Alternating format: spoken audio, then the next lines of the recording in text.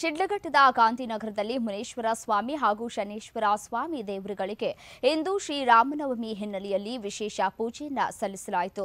ಪ್ರತಿ ವರ್ಷ ಶ್ರೀರಾಮನವಮಿ ಹಬ್ಬದ ದಿನ ಸಾವಿರಾರು ಭಕ್ತಾದಿಗಳು ಮಂದಿರಕ್ಕೆ ಭೇಟಿ ನೀಡಿ ದೇವರ ಕೃಪೆಗೆ ಪಾತ್ರರಾಗ್ತಾ ಇದ್ರು. ಆದರೆ ಈ ಬಾರಿ ಕೋವಿಡ್ ಹಿನ್ನೆಲೆಯಲ್ಲಿ ಸರಳವಾಗಿ ಶ್ರೀರಾಮನವಮಿಯನ್ನ ಆಚರಿಸಲಾಯಿತು.